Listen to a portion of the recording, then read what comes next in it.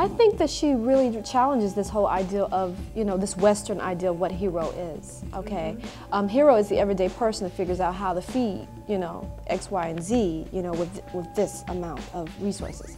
Hero is, um, is the woman who, you know, had, had this journey is deciding, okay, I, you know, I'm gonna make a way out here. I'm gonna, I'm gonna find this, you know, a community where I can survive, you know. I mean, her Earthseed, the whole, the whole, all of the work that she did with Earthseed, I thought was really, really powerful.